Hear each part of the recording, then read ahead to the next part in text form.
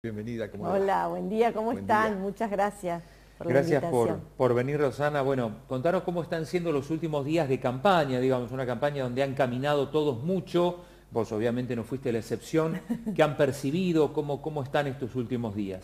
Bueno, bien, muy bien, muy, muy contentos, eh, sobre todo contentos. hemos caminado mucho, hemos recorrido toda la ciudad, hemos escuchado a mucha gente, a muchas instituciones, Así que ha sido una campaña nutritiva, enriquecedora en lo personal y como equipo de trabajo, eh, porque bueno, la gente, las personas tienen muchas cosas para decir y buscan espacios de escucha y bueno, hemos escuchado y hemos contado nuestras propuestas. Así que la verdad muy muy contenta y muy satisfecha con todo el trabajo que hemos hecho. Hemos puesto lo mejor, hemos hecho todo lo que ha alcanzado en el tiempo que siempre resulta corto, ¿no? Porque este, bueno, la ciudad es grande pero bueno, hemos llegado a todos los barrios y a muchísimas instituciones, así que feliz. Qué bueno. En cuanto a las propuestas que reciben de la gente, en cuanto a las demandas que reciben, de alguna manera seguramente eh, sirven para afinar lo que son justamente las iniciativas que ustedes llevan para el Consejo.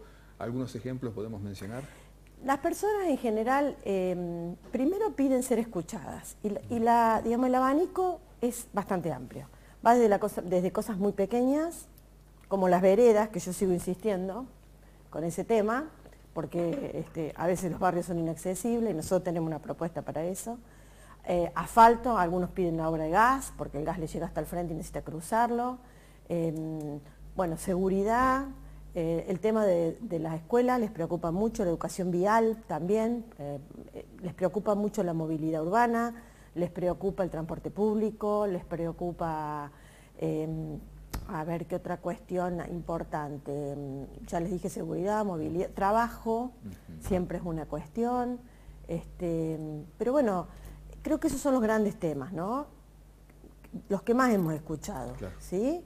A veces son cosas muy pequeñas y a veces son cosas muy grandes. Algunas son fáciles de resolver y otras, por supuesto, son complejas y no dependen del Consejo Deliberante de una ciudad, ¿no? Correcto. También hay que jerarquizar un poquito eso, porque no entra todo en la misma bolsa. Y uno por ahí cree que del Consejo Deliberante se puede solucionar todo.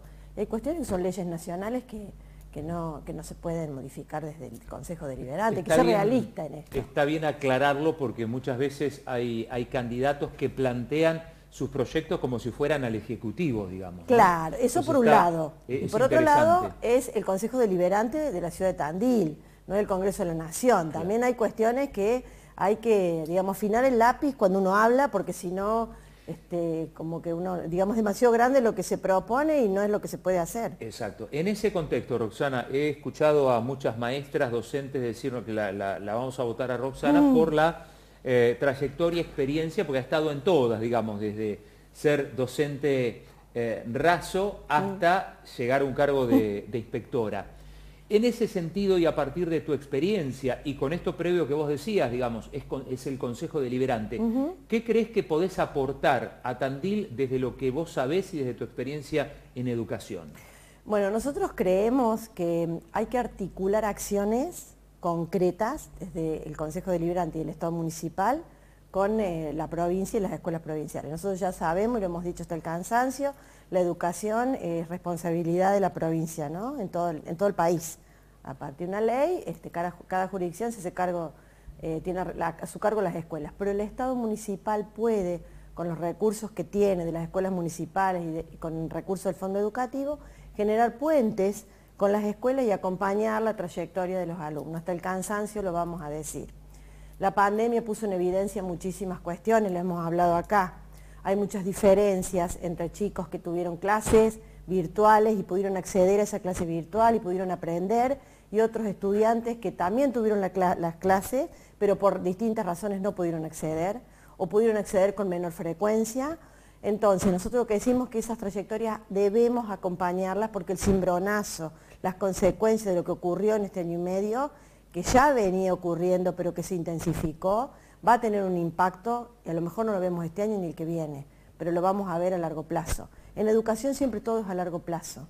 Es una inversión que a veces les cuesta a los gobiernos pensarlo porque no se ve, no se palpa de manera inmediata. Pero este cimbronazo lo vamos a sentir. Y un Tandil sin buena educación es un Tandil que mueve sus cimientos.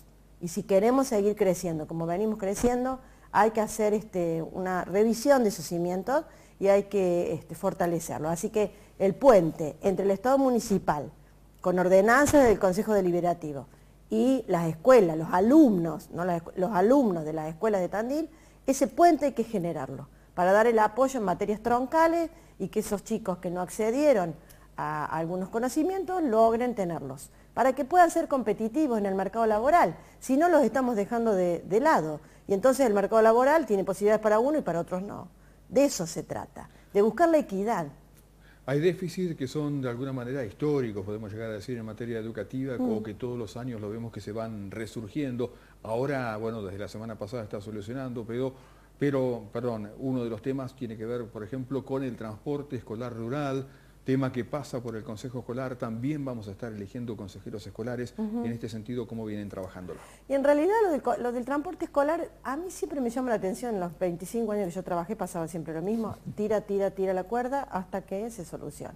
Lo que no entiendo es por qué hay que tirar tanto la cuerda, si al final se soluciona. ¿Por qué no lo solucionamos antes de tirar la cuerda?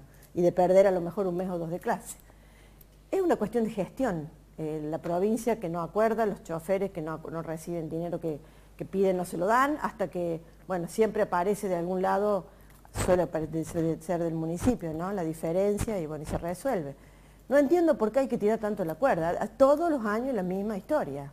Y creo que se puede, uno puede anticiparse, digamos, estas cuestiones. Algunas son de carácter este, del Ejecutivo, ¿no es cierto? Pero bueno, este, empezar a conversar antes y volver a ver. Ahora con la pandemia también hay que pensar que un año y medio los ómnibus de, transporte escolar no circularon, bueno, es todo mucho más complejo. Pero bueno, creo que si, la, si la cuerda se tensa hasta antes de cortarse, ¿por qué la dejamos tensar hasta ese momento y no hacemos que no se tense? Eso es lo que me pregunto. Está Rosana Florit charlando con nosotros, vamos a seguir en el próximo bloque, estamos compartiendo el desayuno, es precandidata a concejal Em, por la lista 33, Juntos por Tandil. Con ella seguimos charlando en minutos nada más. Con Rosana Florido, nuestra entrevistada de hoy, con quien estamos compartiendo el desayuno, dicen por acá, estaba hablando una Rosana cordobesa, qué linda tonada, dice el mensaje por acá, y alguien que dice, adelante Rosana, será esta una muy buena elección, tenemos un proyecto común y por eso vamos, mensaje que llega por acá para Rosana Florid, cordobesa de nacimiento, si no me equivoco, pero tandilense por adopción hace cuánto tiempo? 34 años que vivo acá en Tandil. Sí, de Río Cuarto, provincia de Córdoba. Se puede decir lo mismo que de Alfredo Leuco, digamos, años viviendo fuera de la provincia y no ha perdido la tonada. Él peor que yo, tiene más tonada que yo porque es de Córdoba capital. Río Cuarto tiene un poquito menos de tonada, pero sí, no la perdemos, va con nosotros hasta el último día. Está muy bien. Roxana, bueno, ¿cómo, ¿cómo se encaran los últimos días de la campaña? Bien, ¿me te puedo contar algunas propuestas más que Por favor, ahí vamos a ir a eso también. Ah, bueno, los últimos días de la campaña, mañana tenemos acto de cierre, que invitamos. ¿Dónde y cómo? Es a las 18.30 en la Plaza del Centro, en la pérgola le digo yo, pero ustedes no le dicen pérgola, le dicen... Se entiende perfectamente. Bien, ahí. Sí. Yo le digo pérgola, pero no es Glorieta, muy bien, glorieta. Glorieta, pérgola. Ahí va a ser, ahí va a ser, 18.30. Eh, espero que nos acompañe el tiempo, que seguro que en ese momento va a abrir eh, y no va a llover. Para la tarde está pronosticado ya mejoramiento. Siempre es así. Así que este, a esa hora va a ser el cierre de campaña. Y hoy tenemos todavía actividades, este, algunos en los medios y todavía reuniones con organizaciones. Hay algunos que están caminando a pesar de la lluvia. Así que seguimos todos en movimiento. Bien. Algunos candidatos están medio como este, apurados para que no se les pregunten por propuestas. Ah, al contrario, quiere plantear Sí, sí, nosotros queremos contar porque hemos pensado muchas propuestas. Les hablé de las veredas. Sí. Este, eh, esta, cuestión parece sencilla, pero nosotros que hemos caminado a los barrios vemos que en muchísimos barrios no hay veredas. Las personas caminan por la calle, lo que genera una dificultad en el tránsito. Así que proponemos este plan veredas con aporte mixto, digamos, combinado del vecino y del Estado municipal. El vecino aporta los materiales y el Estado municipal la mano de obra con albañiles de la ciudad. Se generaría trabajo y, bueno, se solucionaría esta cuestión que es de accesibilidad, ¿no? Y de bienestar, porque este, no se puede caminar por algunas veredas ni, ni, estando sano, digamos, ¿no? Así que esa es una de las cuestiones. La otra cuestión es el programa Benistalate, ya tiene nombre y todo, eh, para las pymes y los comercios que se instalen, exención a la tasa eh, municipal unificada de la actividad económica, eh, durante, sí, muy bien, durante el primer año el 100% y el segundo el 50%. Y para los que ya están instalados, el 20% de descuento como buen contribuyente, que ahora es del 10%. Esa es otra cuestión. Y otra cuestión que le queríamos contar es el ente mixto deportivo. Nosotros hemos hablado con muchísimos clubes y vemos dos cuestiones. La escuela, hace 20 años atrás, la escuela pública era el lugar de encuentro de los chicos. Hoy esta, situación se ha modificado. Eh, hay escuelas de gestión estatal y de gestión privada y a veces eh, los chicos no, no, se encuentran en los espacios, está como más sectorizado por barrio. Eh, entonces creemos que el club puede ser el lugar de encuentro, para lo cual hay que definir políticas públicas municipales deportivas. entonces la creación del ente mixto permitiría acordar las políticas, por un lado, eh, considerar becas para aquellos chicos de determinado barrio que quieran ir a un club que a lo mejor no está en el barrio, o un deporte que no haya en su barrio, no condicionarlo que haga el deporte en su barrio. Y de esa manera nosotros creemos que se fortalece el entramado social, que uno va viendo que se va como desdibujando. Antes ese entramado se fortalecía en la escuela porque iban todos juntos a la misma escuela, hoy creemos que el club puede ser un lugar interesante de fortalecimiento del tejido social. Bien. Así que esa es otra de las propuestas. Hay más, ¿eh? pero bueno. Hay más. Eh, Rodolfo. Mejoramiento de red de agua se contempla, dice un mensaje que ha llegado por acá. El plan maestro este, está mm, agotado y seguramente que habrá que repensarlo, pero bueno, eso será, lo pensaremos en este, en este tiempo, lo empezaremos a pensar y cuando Marcos sea intendente estará todo definido.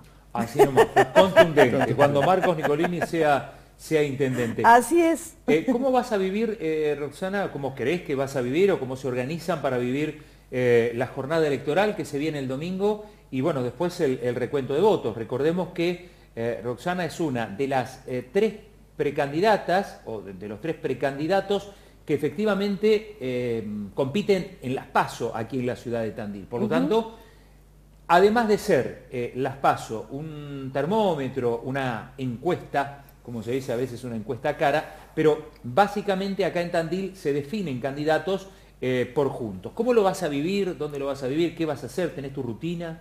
Sí, vamos a tenemos que trabajar todos, tenemos que acompañar a los fiscales y este, hacer, bueno, vamos a ir a votar obviamente, este, y luego lo vamos a vivir con tranquilidad y ayudando a todos los que estén en las escuelas, colaborando en la distribución, la logística. Este, nosotros no somos candidatos que nos vamos a ir a, almorzar a un lugar y vamos a aparecer en el búnker a la tarde. Vamos a tener un día arduo de trabajo, la familia también va a acompañar, así que estaremos todo el equipo trabajando este, con, mucha, con mucho entusiasmo, con alegría y con la energía que tenemos todos, que es impresionante, este, porque hay que ir al local a ver la energía que hay ahí, todo el tiempo hay movimiento y es una usina de ideas, así que trabajando, va a ser un domingo de muchísimo trabajo y con una fiesta, ¿no? ¿Dónde está el local? Acá hay alguien que quiere anotar. El local está en Sarmiento 685. Es en planta alta y la entrada es una puerta color bronce dorado que tiene un cartel donde está esta cara. Está eh, ahí, en una gigantografía. Sí, una escalera y bueno, está entre la juguetería y la casa de zapatillas. Ahí al medio, sobre Sarmiento, la parada de taxi. Ahí está la entrada. Bien. Ahí estamos. La boleta de Juntos por Tandil no va a pasar desapercibida con el color de la ropa, ¿no? No. Esta señora se ha puesto verde porque es el verde esperanza. ¿Sí? Así que esta, esta es nuestra boleta. 33, la edad de Cristo, R de Rosana. Fácil de identificar, señora de pullover verde. ahí está, ahí está Rosana. Porque cree en el futuro. Eh, me gustó eh, cuando mencionaste a la familia, la familia va a estar colaborando, dijiste, eh, y cada uno estará colaborando desde su lugar. Claro, eh, los de arriba hacen que no llueva. Eh, toda la campaña nos llovió, pudimos repartir todas las boletas. hoy es el primer día de lluvia, cuando ya Tandil está, nuestro mapa está todo cubierto. y Emilia, Iñaki y toda la familia que tengo, digamos, por el lado de Iñaki, acompañando también. Así que este, cada uno de su plano hará lo que tiene que hacer para que todo sea eh, lo mejor que tenga que ocurrir. Excelente, profe Roxana, una maravillosa persona, eh, como pocas, eh, muy humana. Soy exalumna de la Escuela de Comercio. A mí me encanta cuando me dicen profe, debe ser la cosa que más me gusta, ¿no? Es muy hermoso. Qué lindo.